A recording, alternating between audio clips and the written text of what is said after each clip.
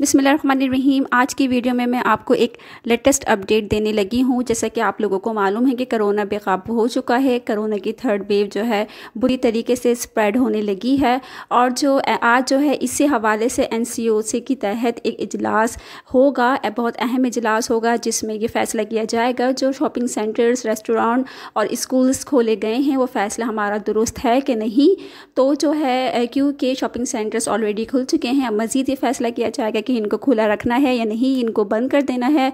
तो और स्कूल्स वैसे तो स्कूल्स में एसओपी के तहत काम हो रहा है, डिस्टेंस का ख्याल रखा जा रहा है, लेकिन फिर भी इस फैसले पर नज़रसानी की जाएगी कि वाकई स्कूल्स को मज़ीद खुला रखना है, शॉपिंग सेंटर्स को, रेस्टोरेंट को या मज़ीद या इनको बंद कर देना है। तो आप लोगों से भी हमें राय जाननी ज़रूरी है कि आप लोग प्लीज़ हमें ये राय दें कि स्कूल्स वगैरह बंद होने चाहिए, शॉपिंग सेंटर, रेस्टोरेंट वगैरह या इनको खुले रहना चाहिए एसओपी के तहत काम करना चाहिए, क्योंकि हमें जो है सबसे पहले सेहत का ख्याल रखना है।